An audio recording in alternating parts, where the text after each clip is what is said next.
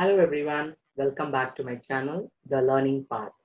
This is Dr. B. Meena, Head Department of Commerce and Vice Principal Shift 1 from Patrician College of Arts and Science, Adayar, Chennai. In this video, I'm going to teach you how to work out the problems under process costing chapter. Click the I button to view my previous videos for the chapters of standard costing, contract costing, cost sheet, and other concepts in cost accounting. Check what are the concepts relating to process costing in this video. Then I will start dictating how to work out the problems in the next videos. What are the terms relating to process costing? First of all, we must have an understanding what is process costing. It is a method of costing which is used to ascertain the cost of output at each stage of production.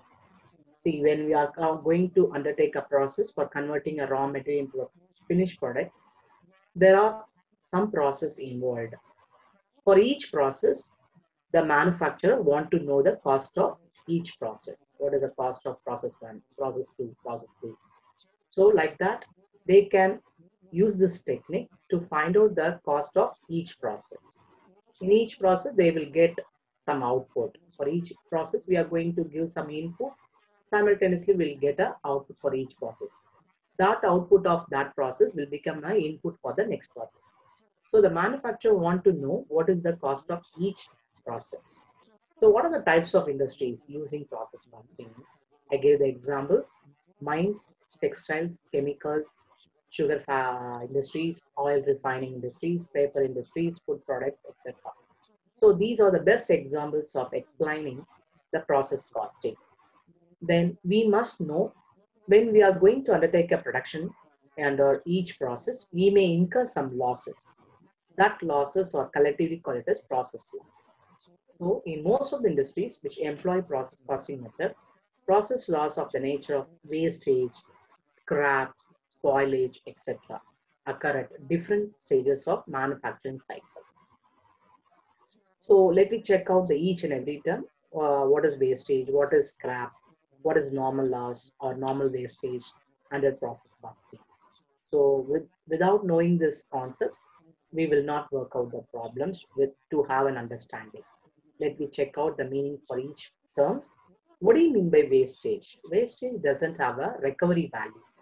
It's a waste only. We will not uh, try to do anything with this wastages. Wastage which has not a recovery value is called as wastage. So what do you mean by wastage? I gave it here. It is defined as that portion of basic raw materials lost in processing having no recovery value. Okay. Then what do you mean by scrap? A wastage which has a recovery value means that is called it as scrap. That's a difference between the wastage and scrap. Once again, I repeat, wastage doesn't have the recovery value but scrap is a wastage which has a recovery value. So look at the meaning I gave it over here. It is discarded material having some recovery value, which is usually disposed of without further treatment. Recovery from scrap reduces the cost of the process. If you got some wastage in each process, that wastage has a uh, recovery value, I mean the scrap, then it will be an income for each process that will minimize the cost of the each process. Okay, then what is normal loss or normal wastage? It is the process loss which is unavoidable and uncontrollable during the course of production. It is mainly due to evaporation, shrinkage, etc. It should be estimated in advance on the basis of past experience and absorbed by good units produced. The process account is credited with the realizable value of normal loss, if any. So these are all the unavoidable loss, uncontrollable loss during the uh, production in each process. Okay. So this can be estimated by the manufacturer well in advance. This could be the loss in each process. Okay. So based on the past experience, they are going to absorb. Absorb means they are going to estimate. Okay. They are going to estimate the loss this loss is called as what is that? Normal loss. Usually this loss, normal loss will be credited in each process. And next is when when we are talking about the normal loss, we need to discuss the abnormal loss, the abnormal wastage also. What is abnormal loss?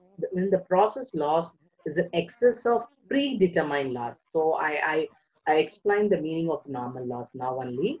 Normal loss is the predetermined loss. That is absorbed loss based on the past experience. This could be the loss in each process. We made an estimation, right? Say for example, uh, I gave input 1000 units in first, first process. And I estimated 100 units or 100 units could be the loss in that process. Okay. So I estimated 100 units could be the loss is called it as normal loss.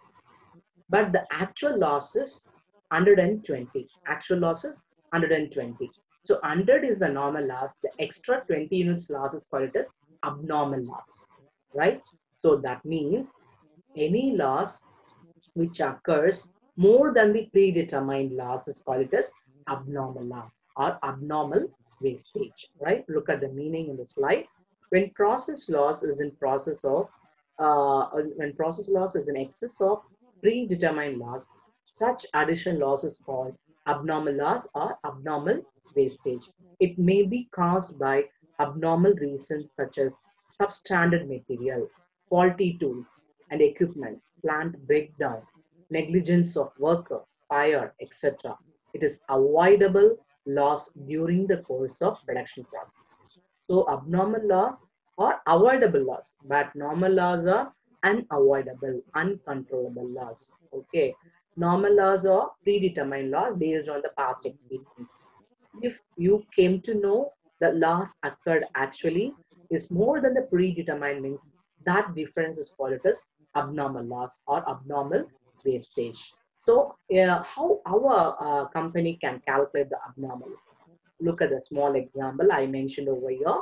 Computation of abnormal loss. Say for example, input I gave 100 units. Normal loss I predicted, I estimated and uh, 10 percentage. Normal loss is 10 percentage. Then output uh, is mentioned over here 85 units. So input I am giving 100 out of this 100, 10 percentage is normal loss means what is a normal loss? 10 units, right? So out of 100, 10 percentage means 10 units will be the normal loss. But the output when you are seeing 85 units. So out of 100, 10 units is the normal loss means then the actual output must be 90, right? 100 units is the input 10 percentage is normal loss means 10 units is the normal loss. So what is the uh, remaining output in case based on the normal loss? 90 units will be the output. But the output given in the problem is 85 units only. They received only output 85. What about the 5 units? That 5 units is called as abnormal loss or abnormal wastage. Look at this uh, calculation, how I did quantity of abnormal loss, normal output minus actual output. How to calculate the normal output? Input minus normal loss, that is predetermined loss. What is my input? 100. Out of this 100, what is my normal loss? 10 units. How I got 10 units? Out of 100 into 10 percentage. So normal output could be 90 units. Normal output could be 90 units, but actual output is how much, how much only is mentioned the problem. 85. So what is the abnormal loss? What is the uh, hidden information behind this? The abnormal loss is 90 minus 85. So what is the abnormal loss? 5 units. Okay. Actually speaking, input is 100. Normal loss is 10 means what is the actual output? 90. But the problem as how the actual output is how much only is given 85. So instead of 90 units as output, we add only 85. So there is an abnormal loss of 5 units. So this is the way how you can work out or calculate abnormal loss when you're working out the problem. Okay. Then what is the accounting treatment relating to abnormal loss or abnormal wastage? This loss is not absorbed by other units produced. Therefore, the process account is credited with the quantity and amount realized from the sale of units of abnormal loss as scrap. and abnormal loss is debited with full amount of loss of abnormal loss account.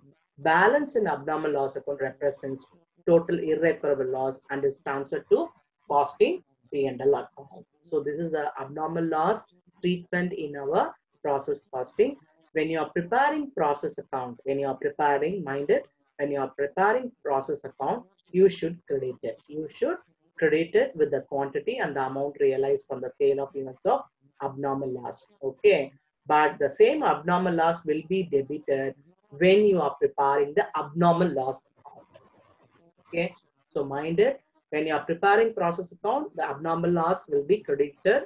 When you are preparing abnormal loss account, the same thing will be debited. So this is the thing I want to highlight when you are going to prepare a process accounts. What is a treatment relating to the abnormal loss account? Okay. And then abnormal gain is just an uh, opposite term uh, to the abnormal loss. That is abnormal gain or abnormal effectiveness. The, when the process loss is less than the predetermined normal loss. Okay. So when abnormal gain will occur means, say for example, I estimated 10 units only the normal loss. 10 units only the, as per the previous example, 10 units only the normal loss. But normal loss actually incurred is 5 units only. Okay.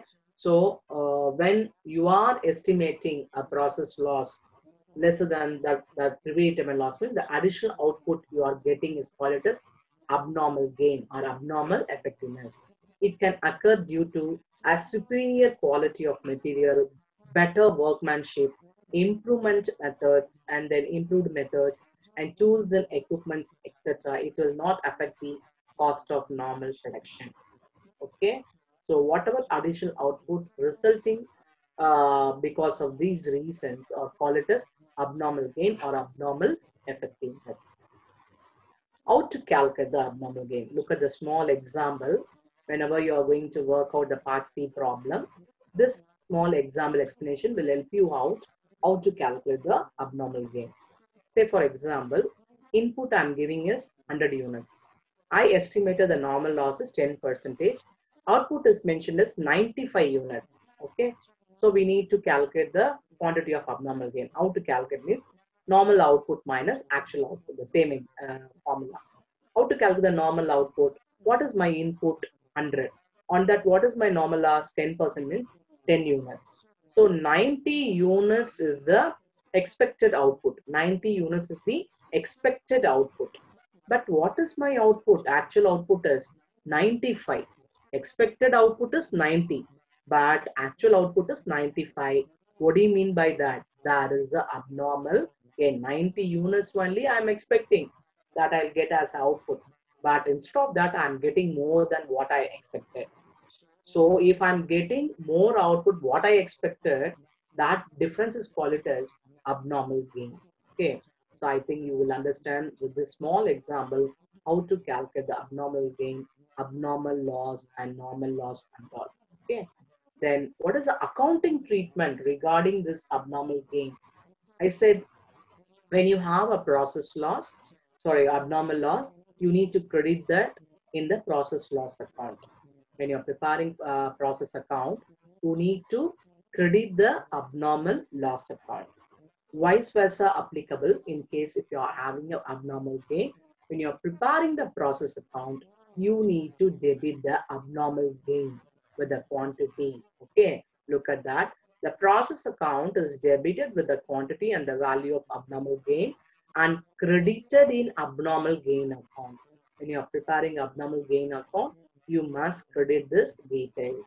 It is debited with the loss and scrap value of normal loss, which did not materialize because of the occurrence of abnormal gain.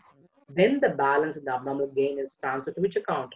Costing P&L account. When you are, we are going to work out the problem, that time you may have some more understanding over this accounting treatment. So what I'm trying to say in this point, when you're having abnormal gain, the abnormal gain must be debited in process account with the quantity and the value. Simultaneously, when you are preparing abnormal gain account, it must be uh, that is debited with the loss and scrap value of normal loss, which did not materialize. Okay. And then the balance in the abnormal gain will be transferred to costing P&L account. Okay. Then you understand all the concepts relating to process costing, like what is uh, scrap, what is wastage, what is normal loss, what is abnormal loss, what is abnormal gain, and what are the accounting treatment relating to this concept. So you add an understanding. In the next videos, I start explaining how to work out the problem in process costing. Thanks for watching this video. Subscribe my channel, click the bell button. See you soon in the next video. Thank you so much.